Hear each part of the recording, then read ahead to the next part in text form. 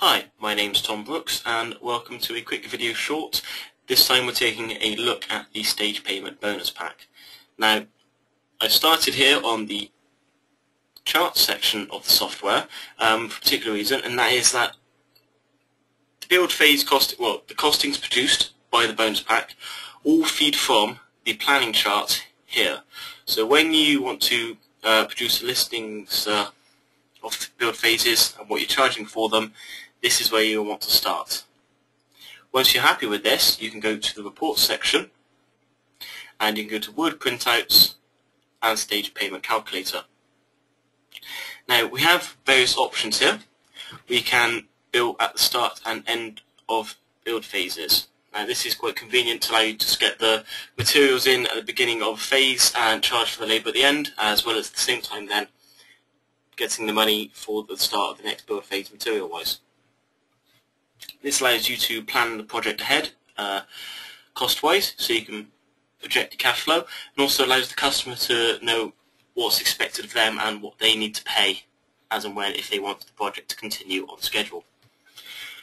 You also have the option now to bill at regular intervals, so you could say uh, 30 days and the start date for that there. Now, as you can see coming up on my screen, uh, whenever you hover over a section there, you get a little help section to basically describe what you're filling in.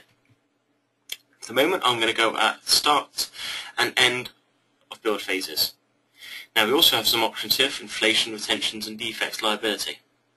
Now, before we go into that, we can click sales price including inflation. So if you're including inflation in this, just tick that. If not, leave unticked and you can ignore it. We have an interim bill retention there, so enter the percentage of the interim bills that the customer will retain. The retention, retention is the amount held back by the customer until the project is finished.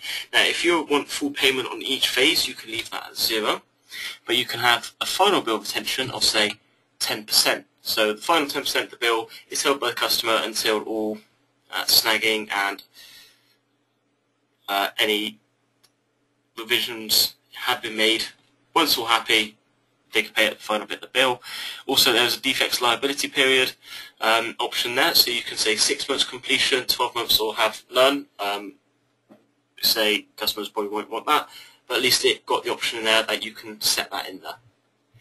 Also, you can customize your opening paragraph. Now, this prints out as a Word, so you can still change it if so needed, but this allows you just to uh, drop in what you want the header to be there. As it, you see there, based on the project projected build program, the following stage payments will become due. Any changes to the build program may affect the payment profile.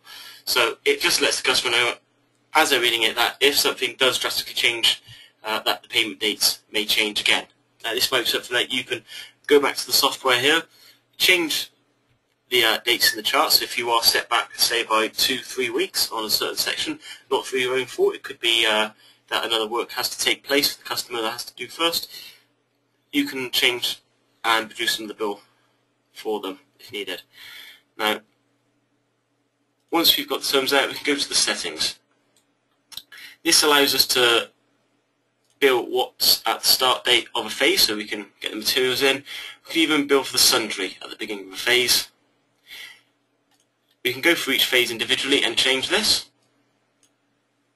We can also as well have the option to bundle the phases together so everything's charged for at the end of a certain phase. So I can say foundations are built at the end of oversight slabbing. For the moment I'm going to leave that there, but it does mean you can group items together, especially if they're phases that run alongside each other. And once we're happy with what we've uh, got set here on, on these options, we can go to the preview and take a look at what the costs are coming out like there. So as you can see, labour costed from the beginning of the three phases, but as they're all completing, and the labour charges there. You see that coming up there. First citing of foundations is the material, second for citing is for the labour, plant and subcontract. Once you're happy with what you've got here, all you need to do now is click print. This will come up now in Word. You can make any final changes to the wording as needed. As you can see there, our little templates come through.